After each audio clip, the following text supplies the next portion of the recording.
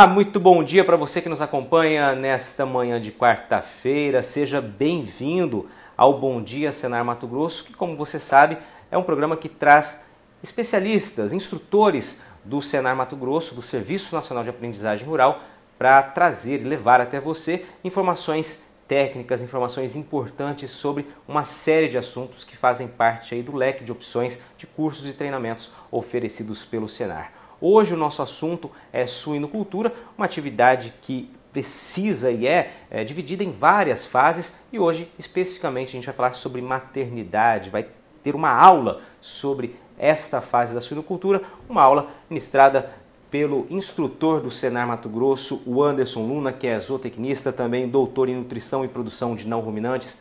O Anderson, mais uma vez, seja bem-vindo ao Bom Dia Senar Mato Grosso. Maternidade é uma fase que requer muita atenção, né? Com certeza, patrone, bom dia. Bom dia, pessoal de casa.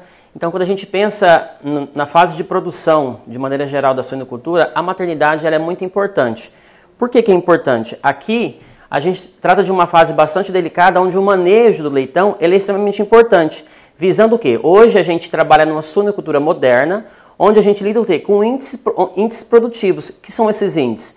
Nessa fase, busca-se o quê? O máximo de produtividade. Como que a gente vai mensurar isso? Isso é mensurado através do número de leitões desamados por ao ano. Então, quanto maior for o número de leitões, mais produtivo o sistema é.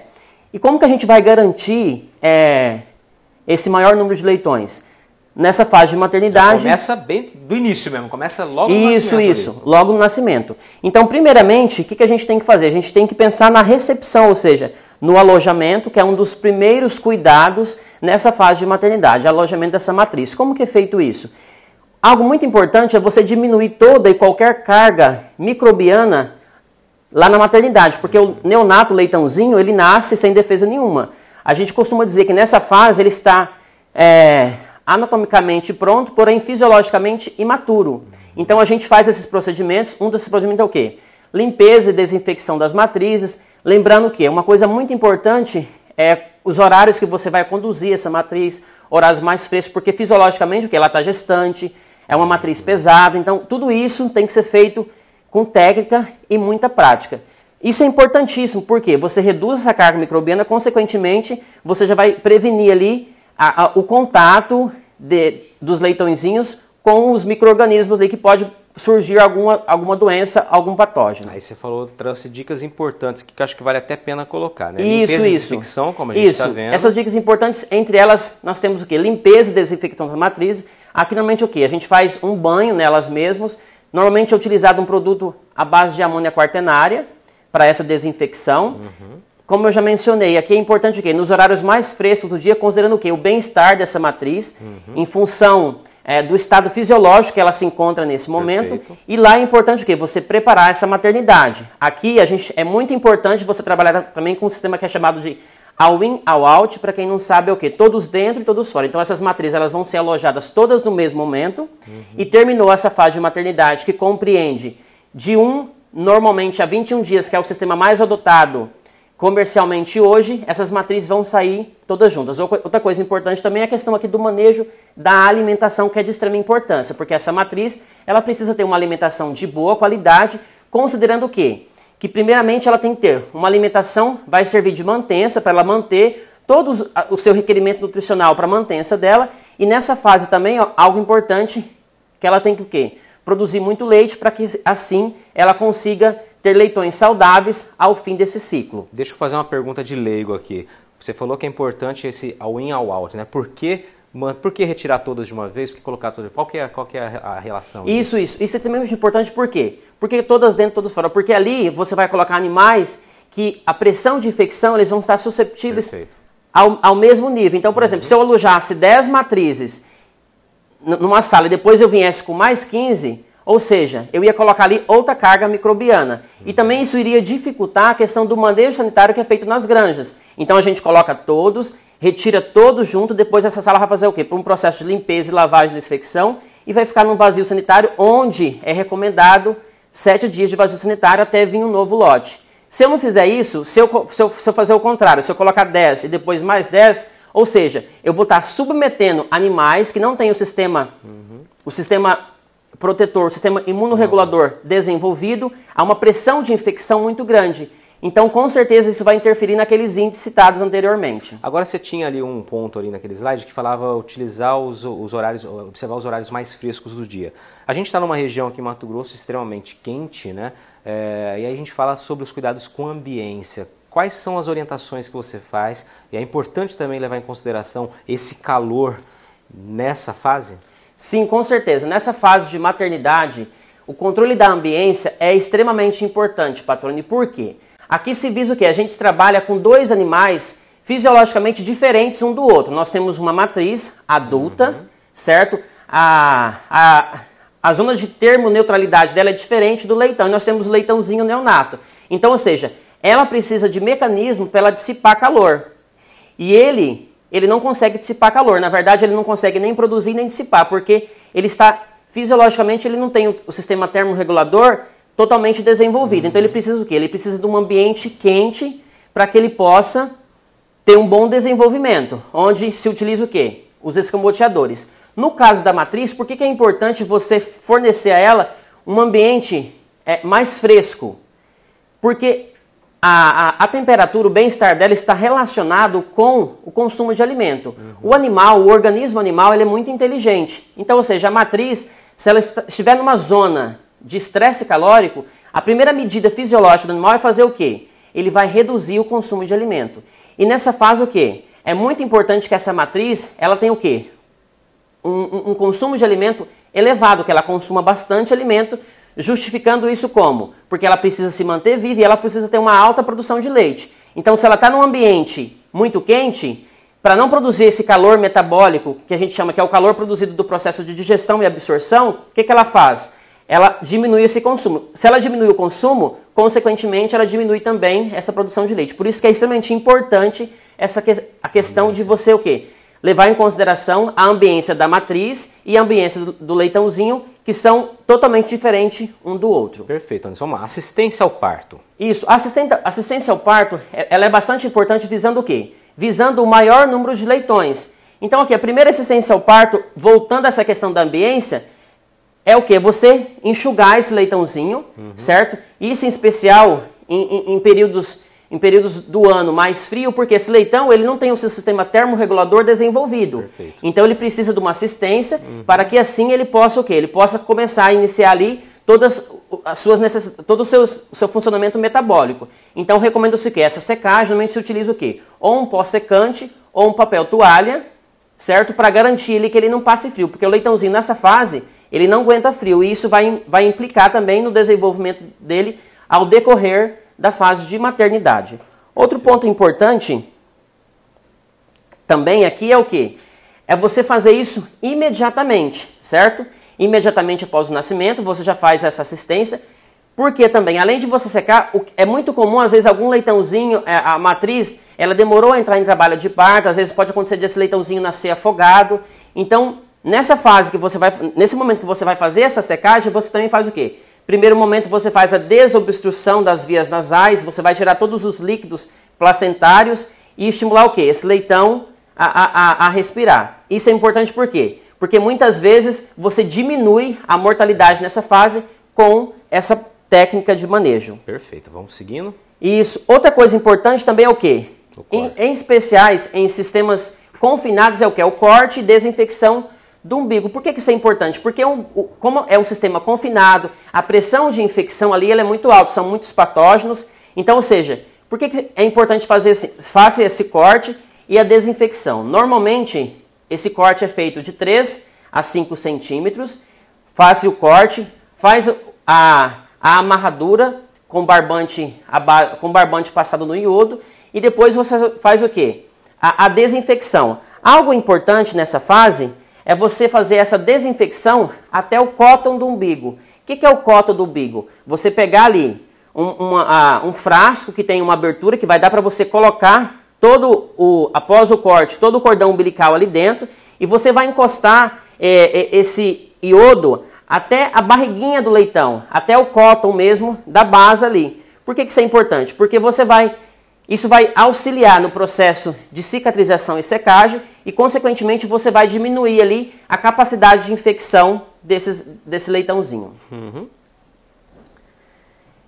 E uma coisa importante também, logo, é, a, a, feito isso, é o que? Você orientar esse leitão para absorção do colosso, lembrando, como foi falado anteriormente, esse leitão ele precisa de absorver o colosso porque ele não tem o seu sistema, o seu sistema imune desenvolvido. Então ele vai receber ele agora a partir através desse colostro é, todos os nutrientes que ele precisa oriundo do colosso, em especial as imunoglobulinas que vai, vai ocorrer através da transferência da mãe para o leitãozinho ocorre nessa fase. Lembrando que a placenta nesse momento no momento de gestação, ela impede a transferência dessas imunoglobulinas e é através da ingestão do colostro que vai ocorrer a absorção dessas imunoglobulinas. Consequentemente, esse leitão ele vai conseguir, é, conseguir realizar uma resposta imune até que o seu sistema imune esteja totalmente desenvolvido. Perfeito, Anderson. Vamos fazer uma breve pausa aqui para o intervalo.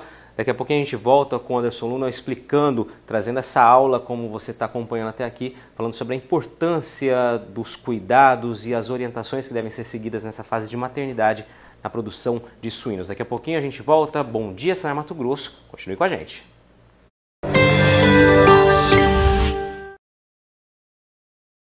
Estamos de volta, direto do estúdio do Canal Rural Mato Grosso aqui em Cuiabá. Esse é o Bom Dia Senar Mato Grosso. Hoje falando sobre a importância de cuidados e orientações que precisam ser seguidas na fase de maternidade na produção de suínos. Aqui comigo no estúdio do Canal Rural em Cuiabá, o Anderson Luna, que é instrutor credenciado junto ao Senar Mato Grosso. No primeiro bloco, Anderson, você trouxe algumas informações sobre cuidados desde o parto, a assistência, a importância da ambiência e terminou falando ali da primeira mamada e também do corte do umbigo. Vamos dar sequência aí, corte do último terço da cauda. Quais as orientações nessa fase?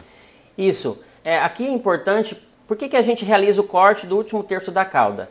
É, normalmente, esse tipo de manejo é feito no sistema, é, sistema convencional e no sistema de animais confinados na produção suinícola. Por que, que isso é importante? O leitãozinho, não, na, não nessa primeira fase, mas o leitãozinho por si só, ele é muito curioso. Então, ou seja, por que, que recomenda-se essa técnica? Então, como o sistema é confinado, a densidade por metro quadrado de animais é muito elevada, então, de repente, se esse, se esse leitãozinho ficar com a vassourinha uhum. da cauda, isso vai chamar a atenção dele e vai, e vai estimular ele o quê? A morder, morder. certo? Então, faz-se, é, é, feito o quê? É feito é, é esse manejo para evitar o quê? Em especial o canibalismo, que não é desejável. Por que, que isso não é desejável? Uma que você pode perder esse animal no uhum. decorrer das próximas fases seguintes. E outra coisa, se isso ocorrer, normalmente é, existe um índice de condenação de carcaça pelo canibalismo é, durante a fase de, uhum. na fase de, de produção desses animais. Então recomenda-se o quê? O corte do último terço da cauda, onde existem vários métodos que podem ser feitos. Um dos métodos é o quê? Você pode fazer esse corte através de um bisturi, bisturi e a desinfecção com iodo, mas existe já um aparelho apropriado é, para fazer esse processo chamado de cauterização, onde ele já corta e, e cauteriza ao mesmo tempo, uhum. onde o leitão ele tende a sofrer um pouquinho menos com esse tipo de com essa técnica. Perfeito. Então, um é, alerta feito porque é importante então. Isso, bastante importante. Atenção a essa fase. A, Exatamente. A esse procedimento. Exatamente. Outra, outro ponto importante também é o quê? É, o leitãozinho ele nasce com oito dentes, sendo quatro caninos e quatro incisivos. Por que, que é feito? Que recomendo o que? O desgaste dos dentes do leitão. Normalmente esse leitãozinho, é, é, os leitãozinhos, eles têm o que? Eles têm algo que a gente chama de hierarquia social. Então, ou seja, se ele ficar com esses dentes, é, no momento ali de, da disputa para decidir quem que vai ser esse líder, se ele tiver com esse dente, ele vai machucar o, os irmãozinhos, os coleguinhas que estão ali na, na mesma baia. Então, por que, que é feito? Uma para evitar que isso ocorra, que isso é importante, que isso também vai interferir no desempenho desse animal. Outra coisa também é o que? É, isso pode o quê? Se ele tiver com esses dentes, isso também pode provocar lesões no teto da porca, que também não é desejável. Uma porque essa matriz isso pode interferir na produção de leite dela e, consequentemente, pode ser também uma porta de entrada para patógenos. Então, por isso que é feito o quê? O corte e o corte ou o desgaste dos dentes nessa fase. Como você frisou aqui, eles são bem pontiagudos aqui. Isso que é o Isso, antes, são, antes de desgaste, né? São bem pontiagudos e aqui é importante também que o manejador, quem for fazer essa prática, o produtor rural, que ele tenha bastante técnica.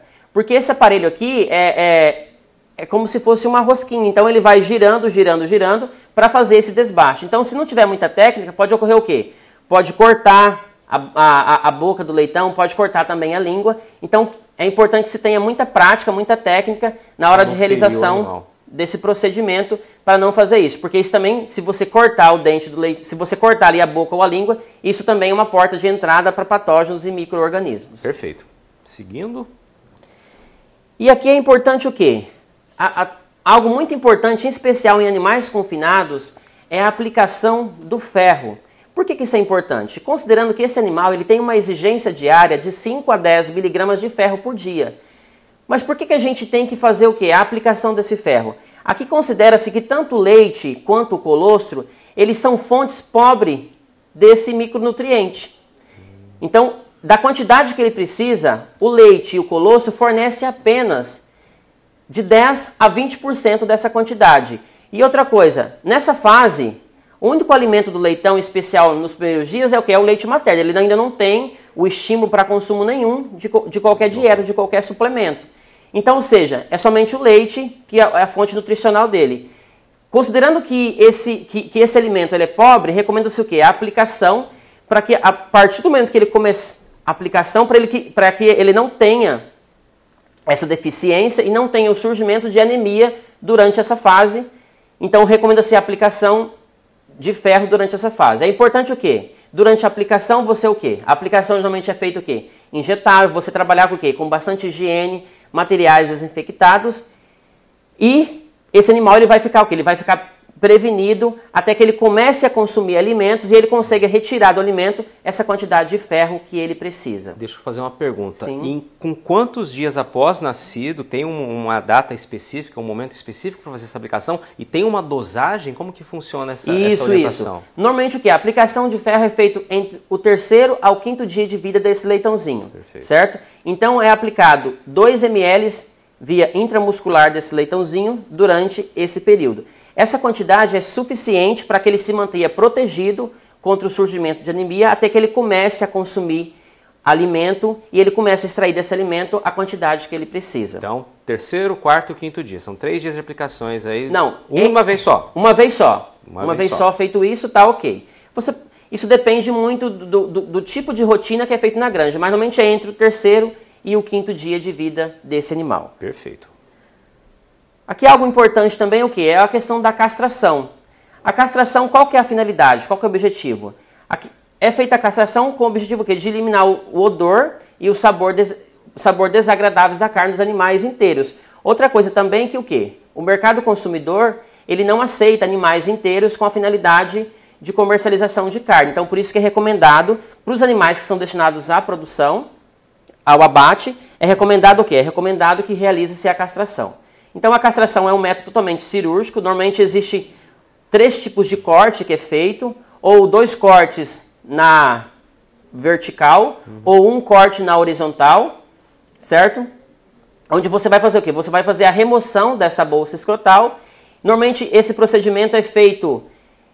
Também existe uma, uma variação de 5 a 10 dias. Uhum. Por, que, por que, que é nessa fase? Porque tudo facilita. Esse animal ele está contido em uma baia pequena, ele tem o escamboteador, então por questões de manejo tudo é mais fácil. mais fácil. E é muito mais fácil eu conter um animal nessa fase que pesa em média 3 quilos do que eu ter que conter um animal mais grande nas fases subsequentes. Então por isso que é feita a castração desses animais nessa fase com esse objetivo. E evidentemente, como uma pequena cirurgia ali, é preciso levar em consideração todos Isso, e aqui é interessante que o processo de cicatrização ele é muito rápido. Uhum. Então, normalmente o que? É feito feita a desinfecção primeiramente com, com iodo, faça o corte, faça a remoção e normalmente você pode aplicar algum produto para o quê? Para auxiliar nesse processo de, de, cicatrização e, consequentemente, não interferir no desempenho desse leitão durante, durante essa fase. Perfeito, Anderson. Vamos para a seguinte, então?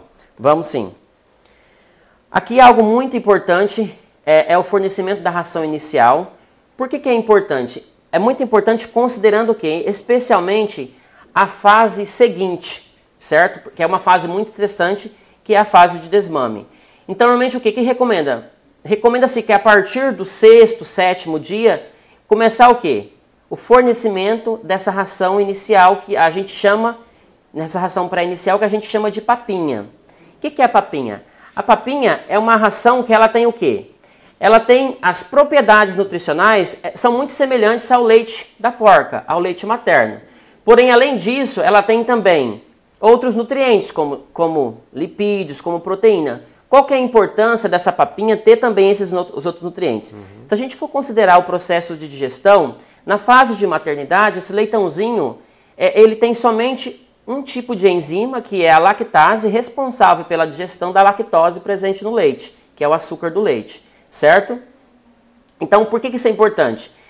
Se eu começo a fornecer essa raçãozinha e as enzimas, a digestão do leitãozinho é basicamente o quê? Ácida e enzimática.